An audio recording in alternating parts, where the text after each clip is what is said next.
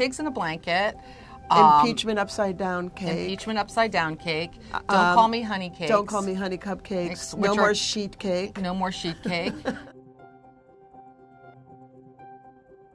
Hi, I'm Kathy Gunst. And I'm Katherine Alford, and we're the authors of Rage Baking The Transformative Power of Flour, Fury, and Women's, women's voices. voices. The story behind Rage Baking is this it was the Kavanaugh hearings. They were grilling Dr. Blasey Ford. I was glued to the radio. We were witnessing something that felt old to me.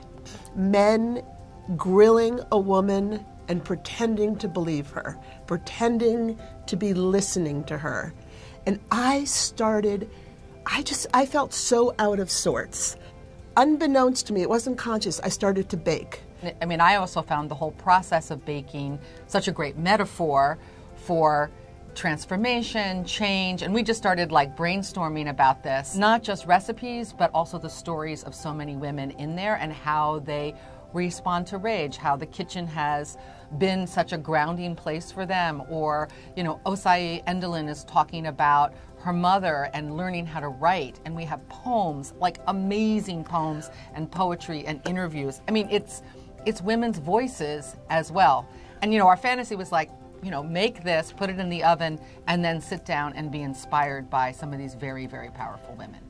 And the really important thing about this book to say is that the baking doesn't erase the rage. It's not like we're telling women, oh, honey, go back in the kitchen, bake yourself a cake, and you'll feel fine. Hell no.